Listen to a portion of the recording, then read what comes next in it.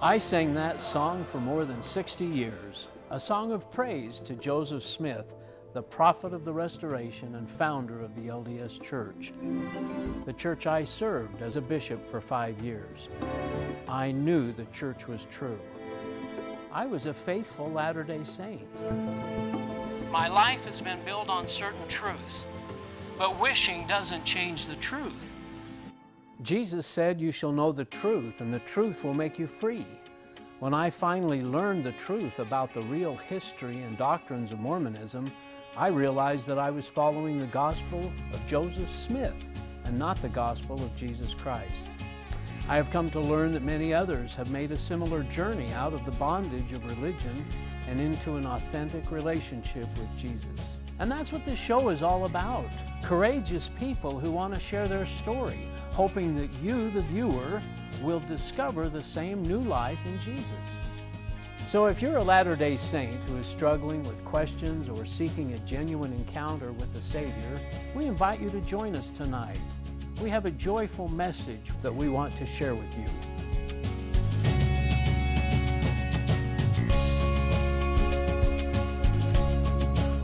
Hello, and welcome to another episode of the Ex Mormon Files. I'm your host, Bishop Earl, and I'm really pleased that you'd be willing to spend some time with us.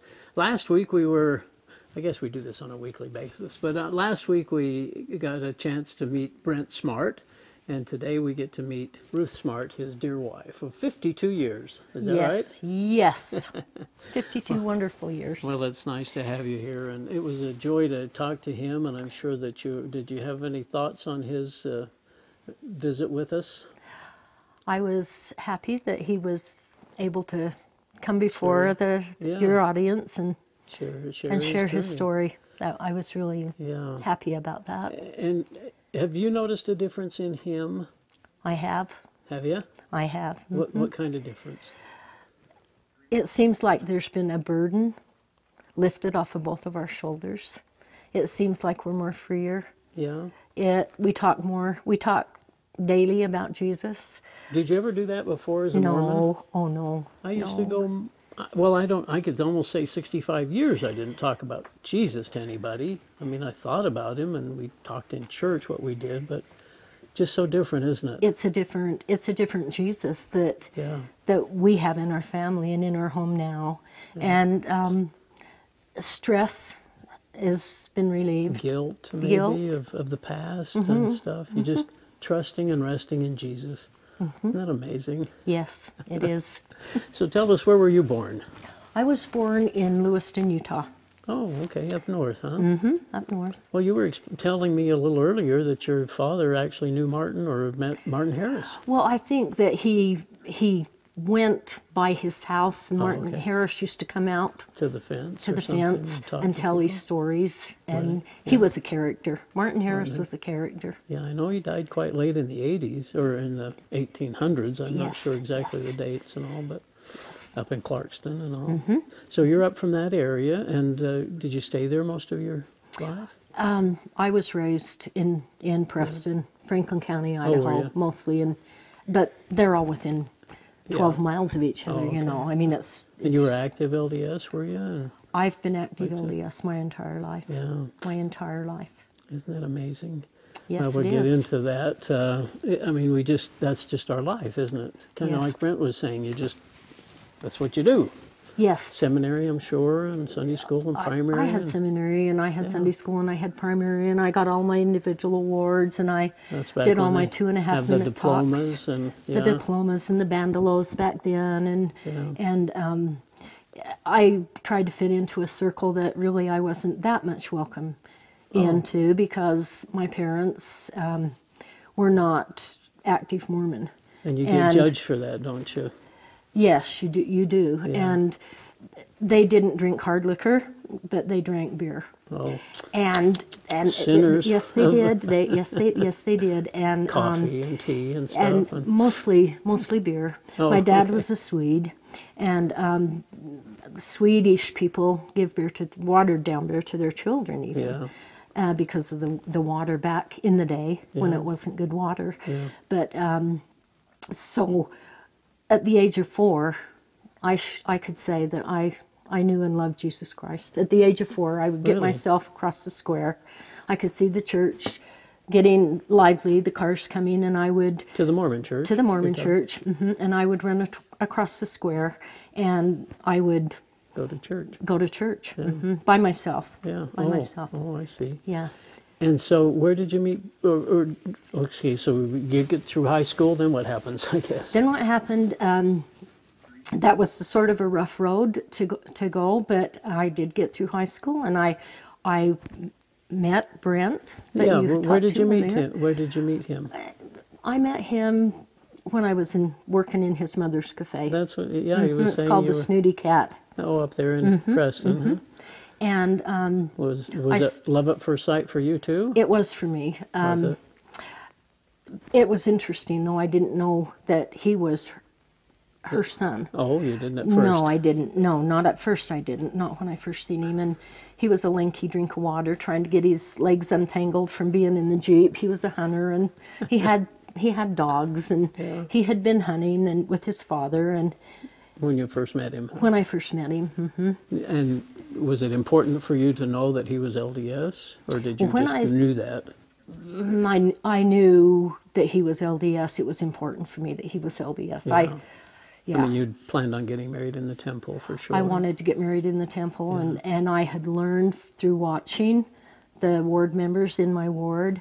I had even even though that was a hard go, I had learned what I wanted to be, what Yeah. what I wanted my family to be, what I wanted, family and all. yeah, how I wanted to raise my children, and Yeah. and um, So did Yeah. you have to talk him into going to the temple? Oh, no, no. he, he Oh, said he had. Oh, no, I didn't have his and I, his and I remembrance of that's a little bit different, but no. You know, you get the pressure of doing ordinations, stuff, baby yeah. blessings, and baptisms, and Sure. and all that. And when you have three children, you know that pretty stretches out for for a ways. Yeah, it does. You know, over the years, you know, Yeah. you just get one done, and another one's ready, and you just get that done, and you've got an ordination, and yeah. So was it in the Logan Temple? I think we I were sealed in the Logan, Temple in was it? 1965. Wow, good for you. Yeah. So 52 years. That's awesome. Yeah, 52 years. Yeah, we coming were married in 64. Yeah, okay. Mm-hmm. Well, so uh, you're just active in the church and busy. Active in the church, Raising the family and all that. raising a family. And that went on for, I guess, 30, 40, 50 years almost, didn't it? Yes, it did. So- yes, it did. Any questions ever come up about, uh, that bothered you about the church? or No, I was told not to look when they. I think it was in the 80s when the God Makers came out, and it was a big buzz around the wards and such. Yeah. We were told not to look. I didn't look. We were told not to read anything anti. I didn't read anything anti. I um, I believed in truth. I I. It's it makes me sick now to think that maybe I was somewhat prideful in Oh, in, I in definitely. checking all the boxes and Oh, crossing all the. T's. Don't I mean that's the whole thing about Mormonism is Yeah. is the pride we have about making it to the celestial kingdom and the, the rest Mm-hmm. of the world not going to make it unless they join the church and I mean that's is the And you pride know is built all. into the system. You know, you just have to bring everybody else with you. Yeah. It's a, a terrible burden to put upon a Mormon Yeah. young lady that just got married to all the things that you have to do. Yeah. And don't we judge?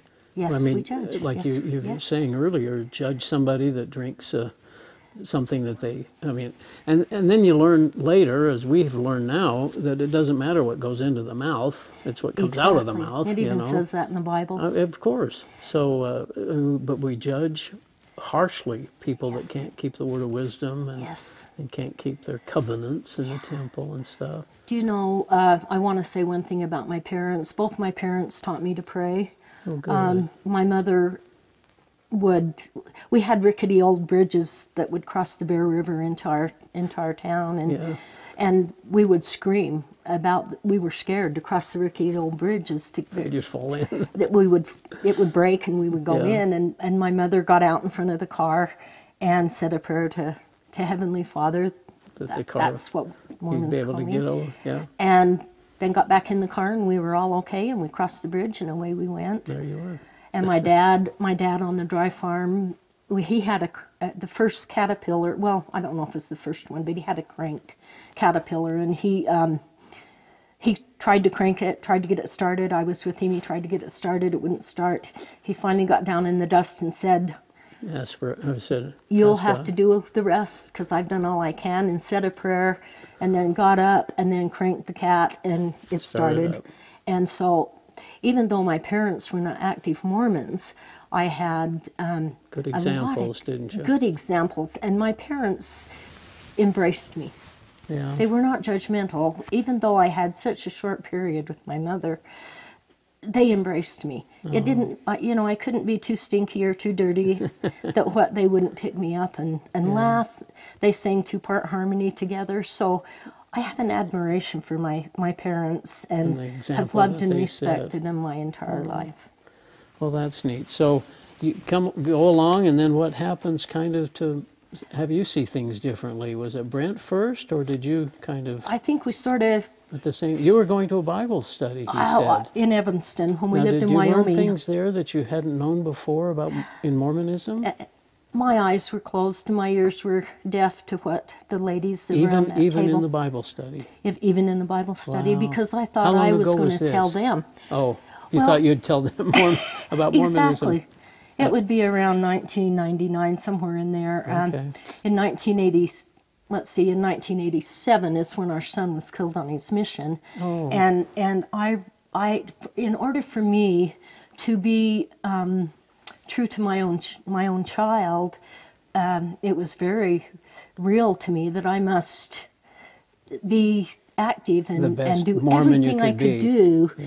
to Have him in the reconnect with my child, my, my middle son. Yes, Oh, yes. So, so that was a driving force for you to be the best Mormon you could be. yes, and and when I attended um, the Bible study courses, which was over a period of two years, and non-denominational courses Yeah. with those ladies, um, I thought that I could bring them along too.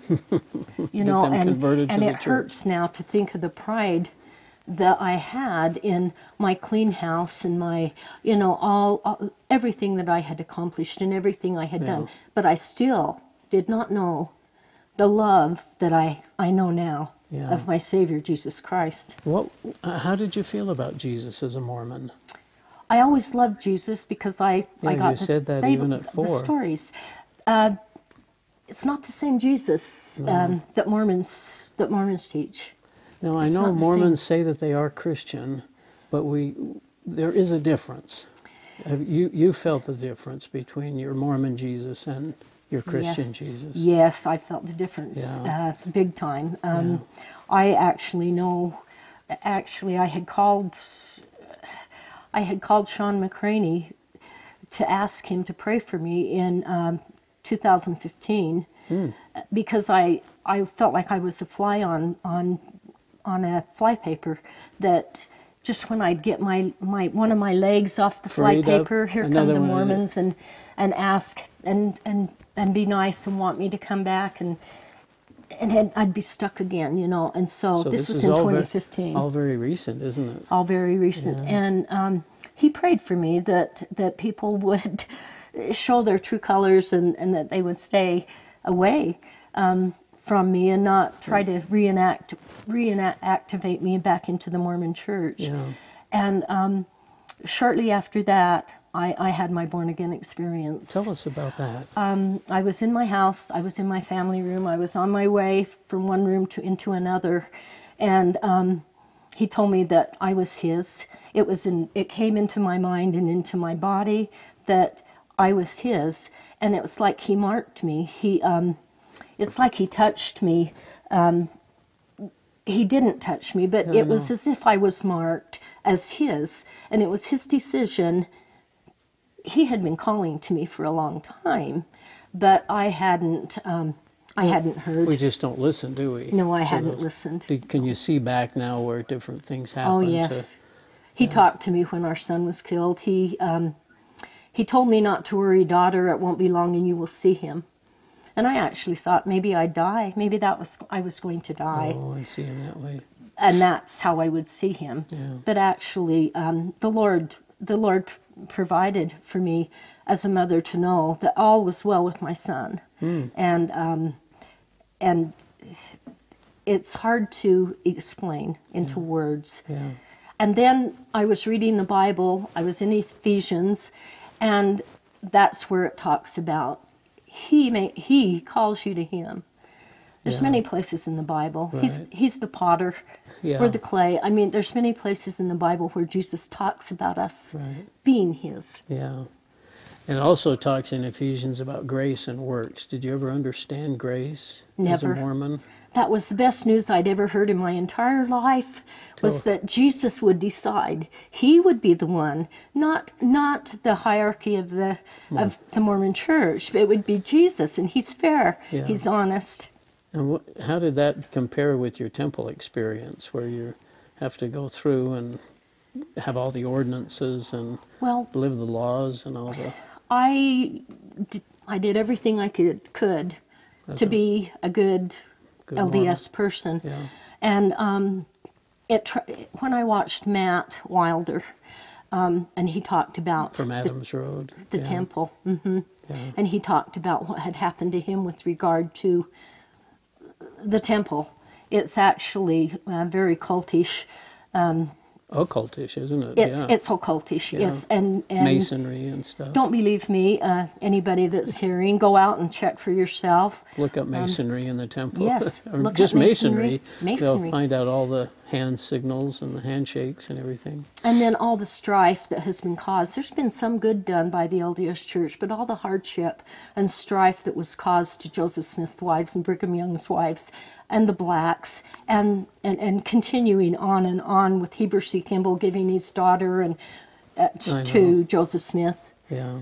And those are things we just don't know as Mormons, do we? No, I And never unless knew. you're willing to. Now, your husband read In Sacred Loneliness and we read it Brodie's book. together. Oh, did you? We had two books. Oh. Were you surprised that he was looking and willing to, or Oh no, no. No. We're so we're so connected. together. We're so close that no, we would a day wouldn't go by that we wouldn't talk about about that. But Doris Hanson also gave us a lot of um, from her show from Polygamy, her What show. Love Is Mhm. This? We we found family there. Isn't that wonderful? Yeah, we and and you also um, Oh. your 17 minutes that you gave was strengthened me because not to not to put you down, but you're you're about my age. Yes, we are. and In fact, I'm a little older, but and you actually coming forth and saying your testimony gave me strength. Really? So I I want to thank you for that. oh, I oh, do. Praise God. That's uh, Praise God. It really was uh, a real interesting moment in time, and my journey was, of course, it's on the on the record there. But uh, yeah, I appreciate that very Yeah, much. yeah. But so all of these influences kind of made you start seeing the church in a different way. Was it shocking to you? I it was was very it? shocking. Yeah. I cried for all of 2015. Just it it, it, so was so shocking shocking to me. Uh, I had sent a son on a mission that never came home. Mm. The church lied about how his death occurred. Um, I um, so to find out that it wasn't True. true, and I can say for a fact that the Mormon Church is not true. Yeah. It's not true. And as I started learning more and more, and you, probably you too, uh, you just realize what uh, the different ways that they've kind of covered over different things. Now, one thing you did do was the same thing I did was get a red letter Bible. I did. And what did you think of that when you? I loved did it. you just?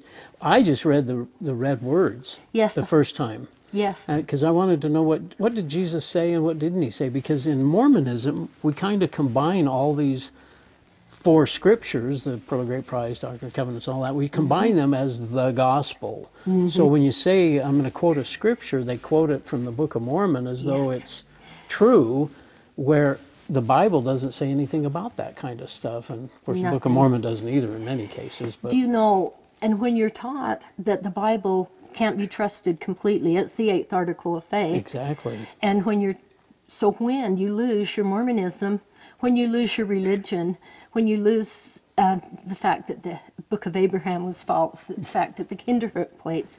When you when you lose all that, Yeah. then where do you go? Yeah. Do you go to the Bible, which you've been taught is not true? You have Was to. it hard for you? Did you have Oh, that no. moment of atheism or anything? I mean, well, you say I struggled had. with that. I you? I didn't struggle. I I know about people becoming agnostic and Yeah, and yeah. atheist, but I will not go there because I know for a fact that there is a God, And you- and I know that he, I'm saved. I'm His, you put your trust and no one will take me out of His hand. No hmm. one will take me from Him. Yeah, nobody can do that. No, Isn't that neat? It doesn't matter how high up you are in the church. I can tell you for a fact that I am Jesus Christ and I belong to God. Yeah, that and the well, and it's so such a simple message. It's so godlike in my mind. Yes. All this other stuff of rules and regulations and all that, just isn't godlike. The simple, I came and I died for you and paid for your sins and and through my righteousness I will make you righteous. You know, Yes. through His righteousness we become righteous Yes. such a simple, glorious message, and I, I just wish all my Mormon friends would open their hearts and eyes and minds to, to hear that. It's interesting what Martin Luther King said about um, I may I will not remember the angry words of my enemies, Yeah, but I will remember the silence of my friends. yeah. And and it's Do you feel like that's happened to you? Oh yeah, Um, they're frightened. I know you're frightened, um, but I was frightened. I was frightened for the pain that this was caused my family. Has it been hard on your children, your other um, Well, two boys? all my children, or most of my children, my grandchildren, my great grandchildren are LDS, and um, Very active, I guess. And yeah, and and um, find the truth. Read the Bible. The Bible's little. The Bible is just a little book. When you when you when you look at how much studying we did with regard to the Mormon Church, with the Book of Mormon, the Doctrine and Covenants, yeah, that's what we always read. the second, third, and fourth thousand years, the doctrinal commentary on the Book of Mormon, which is like four books, I think, something Yeah. like three or four books. There's different, a lot of different ones. Yeah. All the studies that you do Yeah. when it's all contained in the Bible. The Yeah. Bible. So you read you read this red letter Bible, and have you now? What do you think of the Bible? I love the Bible. My husband can vouch. I never, I never go anywhere without it. Yeah, I never go to bed without reading it. Yeah. I read it during the day, and my favorite. it's so different, isn't it? It's so different. yeah, It's such a different life. yeah. We're free. Well, do you have you had a difficulty sharing it with family? I mean, they, or do you, did you don't even talk about it very much? It's flowing out of me now like water. Is it? I, um, I'm testifying. When I voted, I was testifying to my friend. I've found Jesus, Yeah, and you can find him too. All you do is need to read, pray, that he will show you the truth, and he will show it to you because he promised he would. yeah. So when did you go to a Christian church the first time, or was that up there in? It was about 2016. We went Yeah. to Main Street Church, Oh, up in Brigham Mm-hmm. City. Well, they're the ones that sponsor and support this show. and we've gone Was to that Grace different? Fellowship. The first time you went, Oh, oh the- yes. what what did you think of it compared the to the guitar, uh, Dorothy, music? Dorothy playing the guitar. They, Yeah. they play the guitar and sing, Yeah, and, and the I words are it. up on the, Yes, and it was all about Jesus, right? it's all about Jesus. yeah, it's so different. It's not about me. no. It's about Jesus and what He's Well, done. it's not praise to the man or anything else, is Oh, it? no, Isn't no. that so different? No, it's all about Jesus. Yeah. And it's not about doing your home teaching. It's not about doing your visiting teaching. No. and uh, and the message, I know uh, Pastor Catlin, Jim Catlin, is is such a wonderful teacher. Did you uh, He's learn online. things? Yeah. I listen to his sermons online. I've gone through Romans with him, and um, he's also a scientist.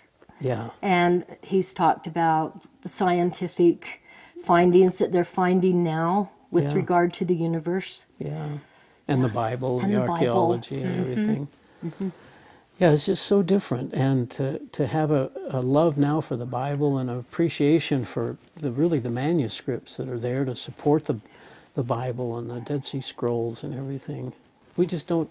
I don't know why we don't know that as Mormons, but it's just again, we're kind of in, I've said it before, but we're kind of in a little tunnel, tunnel of thought process and we just don't think outside. we get so caught up in works. We're so works oriented. The, the Yeah. Mormons are so works oriented. They, you know, and, and it's just almost like you can, you actually go to Deseret Book and buy a checklist uh, on all the Things that you need to do and how many things you've done, and Yeah. you know, It's very robotic in a way too, isn't it? I it's mean, unfeeling. Um, yeah. You know, home teaching is a good thing if you Yeah. really want to be there and if they really want you there. Yeah. But if you're going for the numbers, And on the 31st of the month. yeah, yeah. Yeah, it's just to just to do the checklist and to say you did it. it becomes very um, yeah. Well, and a very proud thing when people can say, "Well, all my children went to the temple, or all my children went on missions, or something." It's and i've been there pride. Yeah, we all have. and I, I i apologize to the people that that that i thwarted Yeah. in my climb my cat climb up the up the drapes you know but men and women Yeah. they climb the drapes in the mormon church Yeah. their position is everything to them Yeah. And um, we just, I just think we see things so differently now and have a trust in God that we just never had before, right? right Yeah. i i trust him implicitly Now, you made a little phrase, uh, I think it was uh, a reed in the wind. What did you mean by that when you, do you remember What- saying that?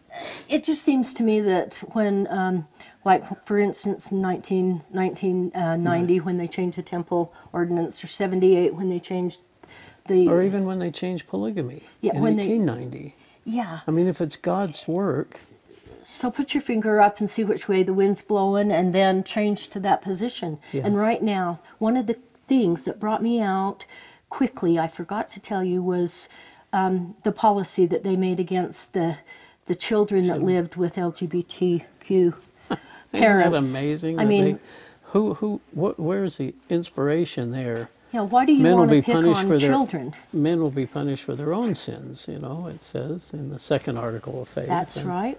Yeah, so that bothered you a That lot. That bothered me immensely. That was the straw that broke the camel's back. That is how come that with all this other study that happened done. in November, yeah, uh, November 15. but you'd been reading up until then. Oh, yeah. kind of. well, Yeah. yeah, all of 2015. Yeah. And that was the straw. Well, Ruth, guess what? We're out It's of over? time. It's over. you, did it. You made it. Well, Well, it's a wonderful story, but but it's all about Jesus, isn't it? Now, It's all I mean, about we Jesus. rest rest in Him. We trust Him, and and His Word, the Bible. It's such a glorious message. You will never find me ashamed about my Savior Jesus Christ, Good for ever. you. Well, you're a sweetheart. Thanks, Ruth. And coming down from Preston, I appreciate that very Well, much. thank you So for having us. We'll see you next time. Bye.